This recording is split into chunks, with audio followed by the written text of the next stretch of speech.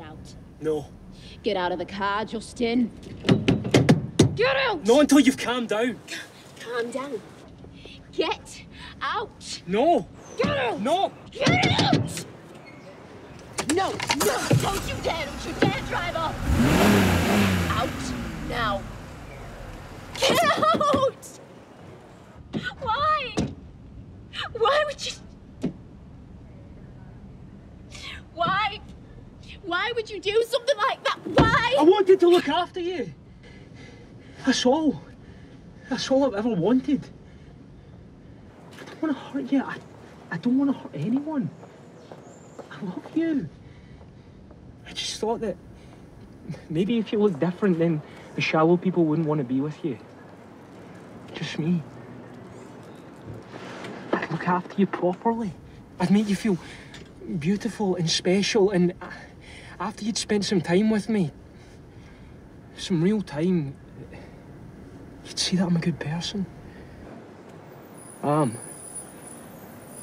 I'm a good person. Why can't you see that? I can. I can. I see everything now. Everything you've been saying. All that you've done for me. The lengths that you have gone to to, to prove your love to me. You've passed the test. You have finally proven yourself worthy of my love. And all this time, all this time, I've been hiding it from you. I just, I wanted to see how far you would go. And now that you've done this, well, I can finally say it. I can say that I What? open the door, Justin. Hey, look at us. Look at us. This, this is where we first met, right? Right?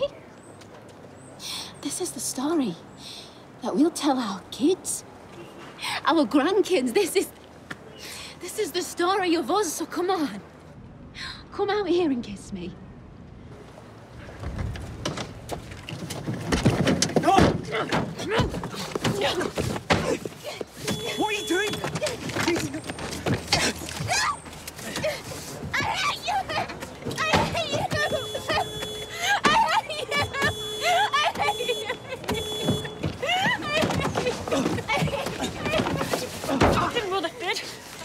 arresting you on suspicion Daisy. of causing grievous bodily harm with intent and for breaking the conditions Daisy. of your bail. You do not have to say anything, but it may harm your defence if you do not mention or question something which you later denied in court. Anything Please. you do say may be given in evidence.